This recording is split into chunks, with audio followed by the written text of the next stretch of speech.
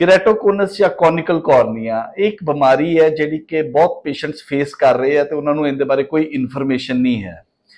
ਕੈਰੇਟੋਕੋਨਸ basically ਇੱਕ ਕਾਰਨੀਆ ਦੀ ਬਿਮਾਰੀ ਜਿੰਦੇ ਵਿੱਚ ਕਿ ਜਿਹੜਾ ਕਾਰਨੀਆ ਹੈ ਜਾਂ ਜਿਹੜੀ ਆਪਣੀ ਪੁਤਲੀ ਹੈ, ਇਹਦੀ, ਇਹਦਾ ਜਿਹੜੀ ਕੋਨਿਕਲ ਸ਼ੇਪ ਹੋ ਜਾਂਦੀ ਹੈ।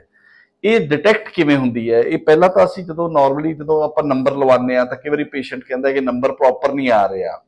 ਉਹ ਨੰਬਰ ਪ੍ਰੋਪਰ ਕਿਉਂ ਨਹੀਂ ਆ ਰਿਹਾ? ਦੇ ਕਾਰਨ ਹੁੰਦੇ ਆ। ਸੋ ਉਹਦੇ ਲਈ ਅਸੀਂ ਉਹਦੇ ਅੱਗੋਂ ਟੈਸਟ ਕਰਦੇ ਆ ਉਹ ਵੀ ਇੱਕ ਮਸ਼ੀਨ ਹੈ ਪੈਂਟਾਕੈਮ ਜਿਹੜੀ ਕਿ ਇਹ ਜ਼ਰੂਰੀ ਟੈਸਟ ਕਰਕੇ ਦਿੰਦੀ ਹੈ ਸਾਨੂੰ। ਇਹਦੇ ਤੋਂ ਸਾਨੂੰ ਇਨਫੋਰਮੇਸ਼ਨ ਮਿਲਦੀ ਹੈ ਕਿ ਪੇਸ਼ੈਂਟ ਨੂੰ ਕੈਰੇਟੋਕੋਨਸ ਹੈ ਜਾਂ ਨਹੀਂ।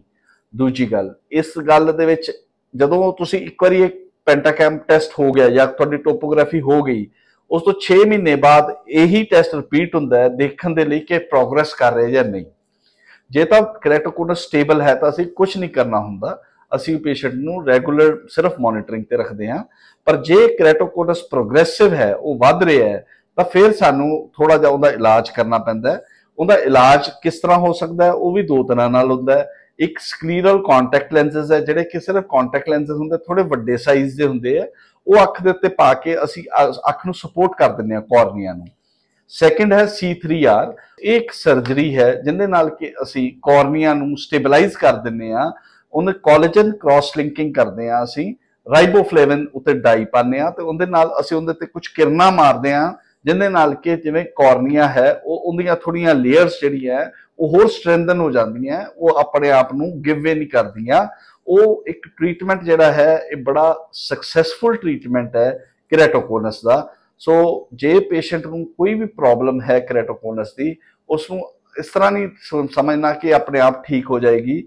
ਇਹਦੇ ਲਈ ਇੱਕ ਟ੍ਰੀਟਮੈਂਟ ਦੀ ਲੋੜ ਹੈ ਤੇ ਇਹਦੇ ਲਈ close follow with eye surgeon ਦੀ ਲੋੜ ਹੁੰਦੀ ਹੈ। ਰਾਣਾ ਹਸਪੀਟਲ ਲੁਧਿਆਣਾ ਦੇ ਵਿੱਚ ਸਾਡੇ ਕੋਲ ਸਾਰੀ ਫੈਸਿਲਿਟੀ ਹੈ ਇਸ ਨੂੰ ਟ੍ਰੀਟ ਕਰਨ ਦੀ। ਸਾਡੇ ਕੋਲ ਡਾਇਗਨੋਸਿਸ ਦੇ ਲਈ ਪੈਂਟਾਕੈਮ ਮਸ਼ੀਨ ਹੈ ਟ੍ਰੀਟਮੈਂਟ ਦੇ ਲਈ C3R ਹੈ ਪਲੱਸ ਸਾਡੇ regularly scleral contact lenses hospital ਦੇ ਵਿੱਚ ਕਲੀਨਿਕ ਹੈ ਜਿਨ੍ਹਾਂ ਵਿੱਚ ਕਿ ਸਕਲੀਰਲ ਕੰਟੈਕਟ ਲੈਂਸਸ ਬਣਾਏ ਜਾਂਦੇ ਆ ਤੇ ਪੇਸ਼ੈਂਟ ਨੂੰ ਦਿੱਤੇ ਜਾਂਦੇ ਇਹਦੇ ਨਾਲ ਸਾਡੇ ਬਹੁਤ ਸਾਰੇ ਪੇਸ਼ੈਂਟਸ ਹੈ, ਜਿਹੜੇ ਕਿ ਇਸ ਦਾ ਬਹੁਤ ਫਾਇਦਾ ਵੀ ਲੈ ਰਹੇ ਹੈ ਤੇ ਉਹਨਾਂ ਦੀਆਂ ਹੁਣ ਵਿਜ਼ਨ ਕਾਫੀ ਸਟੇਬਲ ਚੱਲ ਰਹੀ ਜੇ ਤੁਹਾਨੂੰ ਇਹ ਪ੍ਰੋਬਲਮ ਹੈ ਜਾਂ ਤੁਹਾਨੂੰ ਡਾਊਟ ਹੈ ਕਿ ਕੀ ਸਾਨੂੰ ਇਹ ਪ੍ਰੋਬਲਮ ਤਾਂ ਨਹੀਂ ਹੈ, ਸੋ ਤੁਸੀਂ ਸਾਨੂੰ ਇਸ ਐਡਰੈਸ ਦੇ ਉੱਤੇ ਮਿਲ ਸਕਦੇ ਹੋ ਤੇ ਅਸੀਂ ਇਸ ਤੁਹਾਡੀ ਜਿਹੜੀ ਪ੍ਰੋਬਲਮ ਹੈ ਇਹਨੂੰ ਸੋਲਵ ਕਰਾਂਗੇ।